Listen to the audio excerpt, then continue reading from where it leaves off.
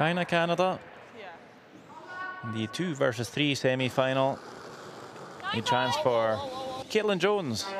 Nine four. Make the nose hit to score two. Great start for Curls, yeah. the Canadians. Everything there curls. Okay, just to be patient there, because we.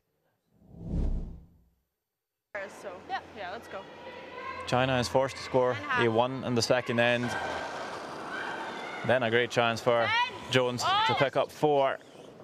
Just catching this redstone top 12, a bit too thin, rolls out, still scores the three, up five to one after three ends of play. That's good, guys. The blank and fourth takes us to the fifth end, and look at that, three reds for China. They have a chance to draw, to score four and tie the game, and that draw is made. Tied game coming into halftime.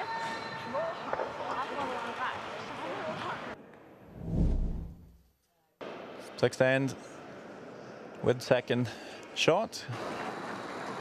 It's an open hit to score two for Caitlin Jones in Canada. No problems there. Uh, a great start I like it.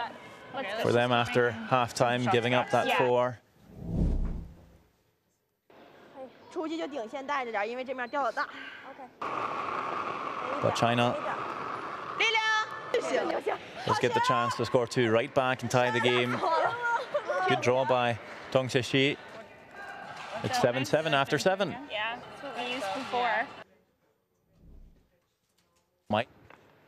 Single point for Canada in eighth, a blank in nine takes us to the 10th end. final shot. Run double possible for China to win the game, but it jams and Canada steals one, wins the game, and will progr progress to the gold medal game 9-7. Well, Caitlin, many congratulations. World Junior Curling Championship gold medal game. How does that feel?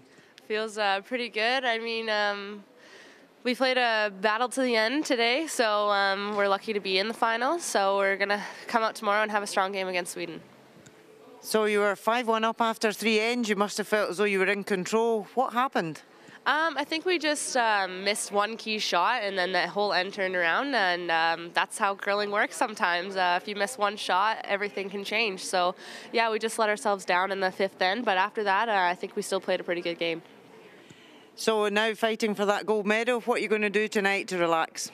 Probably just sleep and try to get some rest. Um, I'm a little bit sick still, so hopefully um, that sleep will make me feel better for the morning.